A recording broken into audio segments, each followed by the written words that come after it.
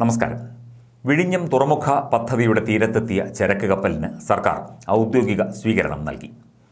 മുഖ്യമന്ത്രി പിണറായി വിജയന്റെയും മന്ത്രിമാരുടെയും കേന്ദ്രമന്ത്രിമാരുടെയും നേതൃത്വത്തിലാണ് കപ്പലിന് സ്വീകരണം ഒരുക്കിയത്. ഷെൻഹുവ പതിനഞ്ച് എന്ന ചൈനീസ് ചരക്ക് കപ്പലിനെ മുഖ്യമന്ത്രി പിണറായി വിജയന്റെ നേതൃത്വത്തിൽ ഔദ്യോഗികമായി സ്വീകരിച്ചു. പച്ചക്കൊടി വീശിയാണ് മുഖ്യമന്ത്രി കപ്പലിനെ സ്വീകരിച്ചത്. വാട്ടർ സല്യൂട്ടോടെയാണ് കേരളം കപ്പലിനെ സ്വീകരിച്ച് ആനയിച്ചത്.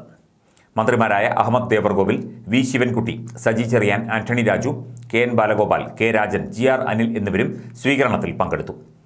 കേന്ദ്ര ഷിപ്പിംഗ് മന്ത്രിയാണ് മുഖ്യാതിഥിയായി പങ്കെടുത്തത്. പ്രതിപക്ഷ നേതാവ് വി ഡി സതീശനും സ്വീകരണത്തിൽ പങ്കെടുക്കാനെത്തി. വിഴിഞ്ഞം തുറമുഖത്തിലൂടെ വ്യവസായ നിക്ഷേപ രംഗത്ത് അനന്ത സാധ്യത തുറക്കുമെന്നാണ് പ്രതീക്ഷ. വിഴിഞ്ഞത്തെ പോർട്ടിന്റെ നിർമ്മാണത്തിനായുള്ള ക്രെയിനുകളും വഹിച്ചുകൊണ്ടാണ് ഷെൻഹുവ പതിനഞ്ച് എത്തിയത്. ഇനിയും പത്ത് തവണ ഇത്തരം ചരക്ക് കപ്പലുകൾ എത്തും. സംസ്ഥാനത്തിന്റെ സാമ്പത്തിക വ്യാവസായിക വിനോദസഞ്ചാര രംഗങ്ങളിൽ വൻ കുതിച്ചുചാട്ടമുണ്ടാക്കുന്ന തുറമുഖം ഇന്ത്യയുടെ പുതിയ വാണിജ്യ കവാടമാകും. ദുബായ് സിംഗപ്പൂർ കൊളംബോ എന്നീ തുറമുഖങ്ങളെ ആശ്രയിക്കുന്ന ഇന്ത്യയിലെ കണ്ടെയ്നർ വ്യവസായം ഇനി കേരളത്തിലെ വിഴിഞ്ഞം തുറമുഖത്തെ ആയിരിക്കും ആശ്രയിക്കുക. ഇന്ത്യയിലും പ്രത്യേകിച്ച് കേരളത്തിലും ക്രൂയിസ് ടൂറിസത്തിന്റെ വളർച്ച ഇത് വിപുലമാക്കും. ക്രൂയിസ് ഷിപ്പുകളുടെയും ക്രൂ ചേഞ്ചിന്റെയും ഗുണഫലങ്ങൾ സംസ്ഥാനത്തിന് ഉണ്ടാകും. വിഴിഞ്ഞത്തിന് സമീപത്തുള്ള അടിമലത്തുറയിൽ ക്രൂയിസ് ടൂറിസം പദ്ധതിക്കും സർക്കാർ ആലോചിക്കുന്നുണ്ട്. ലോക ടൂറിസം ഭൂപടത്തിൽ കേരളത്തിന്റെ സ്ഥാനം വിഴിഞ്ഞം കൂടുതൽ ശോഭനമാക്കും. വിഴിഞ്ഞത്തെ മാസ്റ്റർ തുറമുഖമായി കണ്ട് സംസ്ഥാനത്തെ ചെറുകിട തുറമുഖങ്ങളെ ഈ ശൃംഖലയിൽ ഉൾപ്പെടുത്തി വികസിപ്പിക്കാനും ഇവയോടനുബന്ധിച്ച് പുതിയ വ്യവസായങ്ങൾ വികസിപ്പിക്കാനും കഴിയും. തുറമുഖത്തിന് പിന്നാലെ വെയർഹൌസുകൾ കണ്ടെയ്നർ പാർക്കുകൾ ഹോട്ടലുകൾ ഫാക്ടറികൾ എന്നിവയും വരും. പല വൻകിട കമ്പനികളും നിക്ഷേപ സാധ്യതകൾ തേടി ഇതിനകം സംസ്ഥാനത്ത് എത്തിക്കഴിഞ്ഞു. വിഴിഞ്ഞം കേന്ദ്രീകരിച്ച് പുതിയ ടൗൺഷിപ്പും ഉയരും.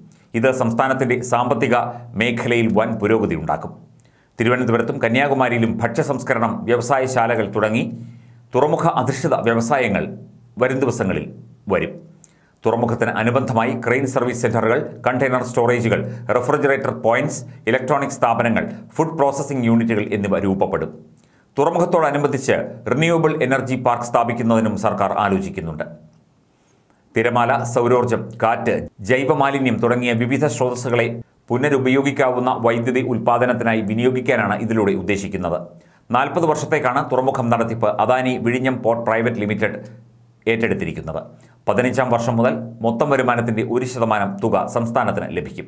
ഓരോ വർഷവും ഈ തുക ഒരു ശതമാനം വീതം വർദ്ധിക്കുകയും ചെയ്യും. സംസ്ഥാനത്തിന് വികസനത്തിന്റെയും പുരോഗതിയുടെയും പുതിയൊരു കുതിപ്പാണ് വിഴിഞ്ഞം തുറമുഖ പദ്ധതിയിലൂടെ യാഥാർത്ഥ്യമായിരിക്കുന്നതെന്ന് ഔദ്യോഗിക ഉദ്ഘാടന ചടങ്ങിൽ മുഖ്യമന്ത്രി പിണറായി വിജയൻ പറഞ്ഞു. തീർച്ചയായിട്ടും വരും ദിവസങ്ങളിൽ പുതിയ ഒരു തലസ്ഥാന നഗരിയായിരിക്കും നമുക്ക് കാണാൻ സാധിക്കുക.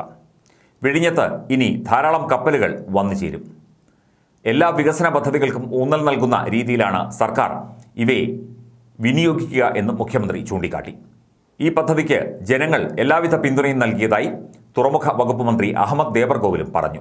പുതിയൊരു വികസനത്തിന്റെ പാത തുറന്നുകൊണ്ട് തുറമുഖ വ്യവസായത്തിന് തന്നെ പുതിയൊരു മുഖമാണ് വിഴിഞ്ഞം അന്താരാഷ്ട്ര തുറമുഖം നൽകുക എന്ന കാര്യം ചൂണ്ടിക്കാട്ടിക്കൊണ്ടായിരുന്നു വിവിധ മന്ത്രിമാരും മുഖ്യമന്ത്രിയും ഒക്കെ ഈ ഔദ്യോഗിക ഉദ്ഘാടന ചടങ്ങിൽ സംസാരിച്ചത്.